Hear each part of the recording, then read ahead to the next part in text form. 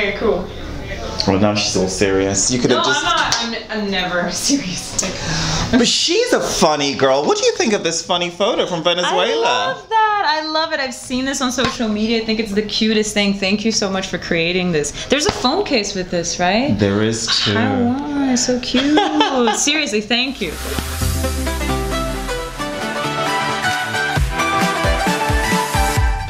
Devon at.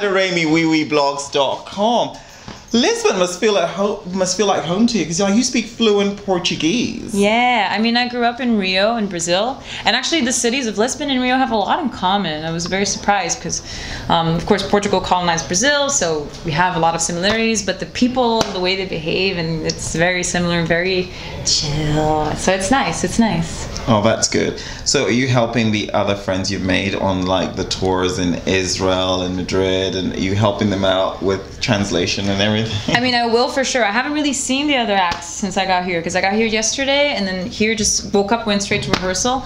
But I'm helping my Latvian delegation for sure, saying obrigado, obrigado, explaining what. Because it, it's it's nice when you try, right, to speak someone else's language. So and you're learning Latvian, right? yes, I am.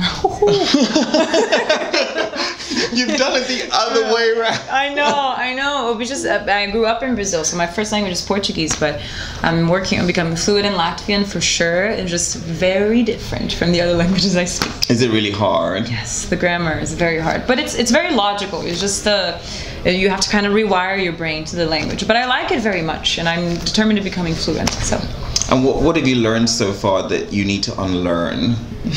ooh, wait, what what do you mean? Well, like, what have you learned? You know, like when you learn a new language, you sometimes you learn it the eh, you've learned a ah. wrong sentence, but actually no, it's not said like that. You need so to. the, the thing that I need to like, I the, the re- the rewiring process is just the order of the words is different. Yeah. Like in Latvian, for example, I'm not very good at grammar in general. I, in Brazil already, I was so bad in grammar. So like uh, in in Latvian, if you're saying locative, when you're saying you're in a place, you won't say I am in this place. You would just change the end of the name of the place to the vowel you need to show that you're in this place. So stuff like that, you know, that I need to pay more attention to. But I guess that's that's it. It just takes time. You love red, beautiful red lipstick, beautiful red dress, and I was I had the pleasure of being with you in Israel for four days, where you went through a Betsey Johnson wardrobe change. You were giving Oh us fashion moments. a lot of it was red. Thank you. Yeah, I mean it's a color that I love. It's a color that represents like passion and drama, and, and it makes me feel empowered as well. So I definitely want to bring that that um, energy t- with me on stage. And before this whole thing as well, my latest latest project as an artist was the, an EP called Ruby, and it was all surrounded by the color red because of how it makes me feel as well. And so I just kept going with it as well. You're all alone on stage, similar to Supernova. Yeah. Do you not crave company? I was so lonely on that stage.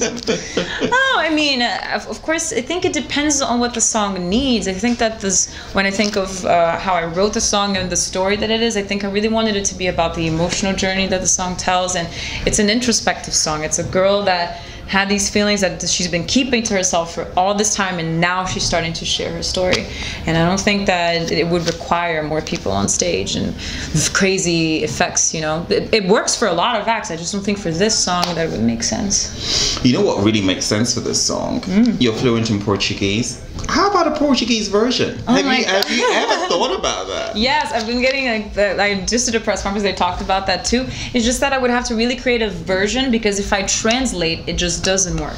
Like just the length of the words. Like eu seria só a garota divertida pra você. That's how big it is. So um, I thought about it for sure, but I would have to really spend some time on it. Someone wrote a, a French version for it though. Oh, really? Yeah, that I haven't checked out yet. I will check it out though because I love French. So we'll see.